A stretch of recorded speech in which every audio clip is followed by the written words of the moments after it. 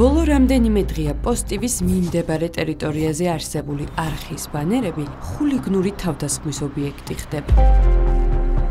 ამ უკანასკნელზე თავდაპირველად ეს სტიკერები, მოგვიანებით კი ამ შინაარსის წარწერა გაჩნდა.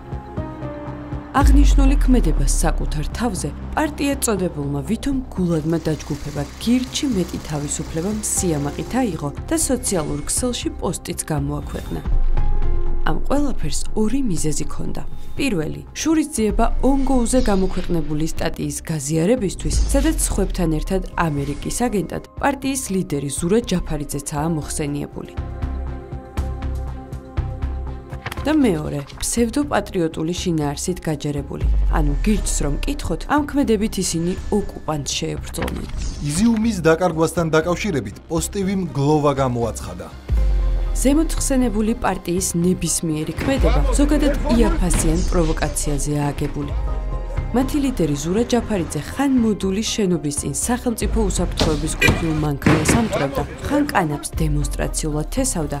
დავარგო კანონს, როგორც კი დავიწყებ კულტივაციას და დავასხავ მასზე წყალს. ხან ჯარში სავალდებულო გაწევის თავიდან არიდების მსურველებს სასულიერო პირება დაკურთხებდა. თუ არეგისტრებთ ახალგაზრდებს? ხანაც კი საოკუპაციო ხაზთან შარვალს იხდიდა. შესაბამისად, მისგან და მისი თანამოაზრეებისგან მსგავსი ქმედებები უკვე დიდი ხანია აღარავის უკვირს. თუმცა გამოცდილებამ არაერთხელ გვიჩვენა, რომ ლიბერალის ნიღაბს ამოფარებული ვითომ სტიგმებისგან თავისუფალი ადამიანები სინამდვილეში ყველაზე არადემოკრატიულები აღმოჩნდებიან ხოლმე და გამონაკლისი არც ეს შემთხვევა გამოდგა. ბატონი ზურას ნაციონალური მოძრაობისგან ღალატით გამოყოფასა და ოპოზიციის სხვადასხვა წევრებთან თავის შეფარებაზე რომ აღარაფერი ვთქვათ, ყველაზე კარგად მისი რეალური სახე მაშინ გამოჩნდა, როდესაც თავისივე პარტია, რომელიც თითქოს ყველაზე ლიბერალური და ქეშა უნდა ყოფილიყო, შიდა სამზარეულოში სწორედ ამ ფუნდამენტური საკითხების აკრძალვის გამო დაიშალა და გაირკვა, რომ ზურა ჯაფარიძე თავის თანამებრძოლებს მოწევასა და აზრის თავისუფლად დაფიქსირებას უკრძალავდა. ერთი მოთხოვნა იყო რომ მოწევას თავი დაანებოთ. გამოგვიგზავნა ფაქტურად რაღაცა პირობები, რომელიც დათახმება მოგთხოვა, მოთხი პირობა.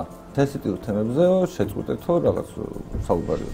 ამ ყველაფერმა უბრალოდ განამტკიცა ის, რაც ისედაც ცხადი იყო, რომ პარტიის ქმედებები რეალურად არაგულწრფელი და პოპულისტური იყო.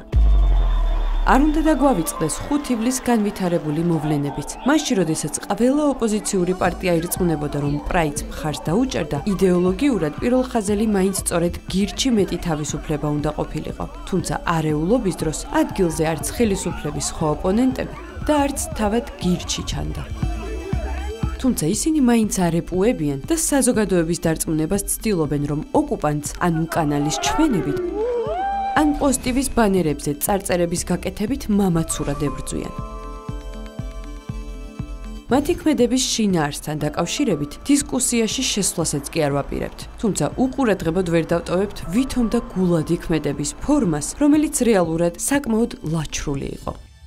ორივე ბანერი, რომელთა საშუალებითაც ისინი პუტინს გმირულად დაუპირისპირდნენ, არხიდან რეალურად 50 მეტრის მოშორებით დგას. აქვე უნდა აღინიშნოს ისიც, რომ პოსტივის არსებობის ისტორიაში არაერთი მოვარდნა გვახსოვს და თავისუფლების მღაღადებელ გირჩებთან შედარებით ყველა უფრო გამბედავი აღმოჩნდა.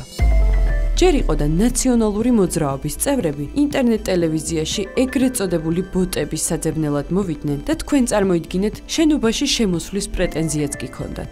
აი ოთახები რომ დავათვალიერო თუ არის შესაძლებელი ექსკურსია რო გაგი. კი ბატონო. რატო რატო გაგიკეთე? არა პრობლემა. პოსტივის ახსოვს ლეიბორისტული პარტიის გაურკვეველი შინაარსის მქონე ვიზიტიც, თუმცა რაც არ უნდა ყოფილიყო, შენობასთან მოსვლის მათაც არ შეშინებიათ. თქვენ წარმოიდგინეთ, უფრო თამამი და მამაცი იყო ტელეკომპანია ფორმულას ის გადამღები ჯგუფიც კი, რომელიც რატომღაც ჯერ პოსტივის მიმდებარე ტერიტორიაზე არსებულ ბუჩქებში იმალებოდა, შემდეგ კი დერეფანში ნაციონალური მოძრაობის მსგავსად კლავ ბოტებს და არც მეტი არც ნაკლები კომპიუტერებს ეძებდა. ასე რომ, ნაციონალური მოძრაობაც, მის დაქვემდებარებაში მყოფი ერთ-ერთი არხიც და ლეიბორისტული პარტიაც კი რეალურად გირჩზე გულადი აღმოჩნდა. და როდესაც პრეტენზია ოკუპანტის წინააღმდეგ ბრძოლაზე გაქვს. რეალურად კი როგორც თავად ამბობ რუსეთის წარმომადგენელთან მის გარშემო 50 მეტრის რადიუსის დაშორებით დაძრწი და ვითომ ამით ომობ, ალბათ ჩვენი მხრიდან დასამატებელიც აღარაფერია.